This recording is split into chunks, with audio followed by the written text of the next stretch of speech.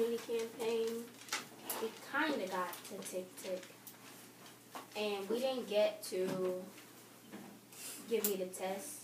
So that would be like our next steps. And the whole school challenge, we're still working on that from last week.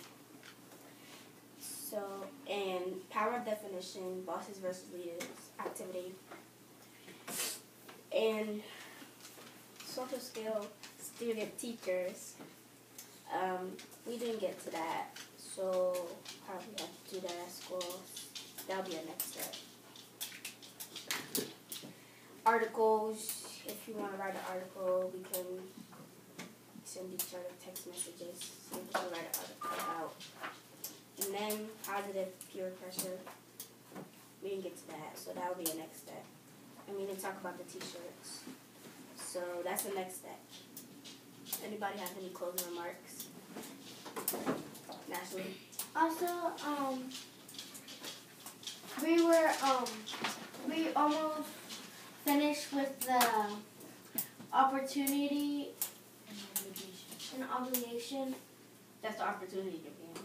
Yeah, and I think we're working out, um, working out okay with the um those stuff. That's it? Yep. Anybody else? Yes. Okay. Tassan?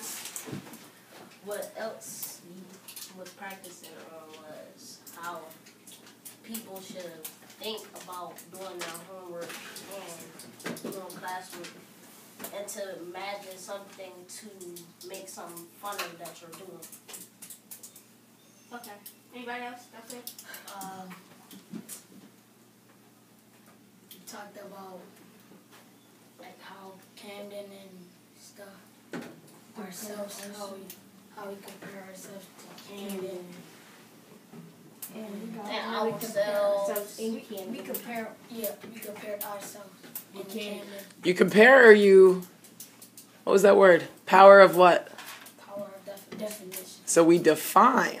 Define ourselves in Camden, and we got more in ourselves. in Camden. Not in this. Okay. That's it? Yeah. No, I Oh. think we did great on working as a group on bosses versus leaders. I think we kind of did good on that. I agree. So, that's Mhm. it, right? Yes. Yep. Everybody?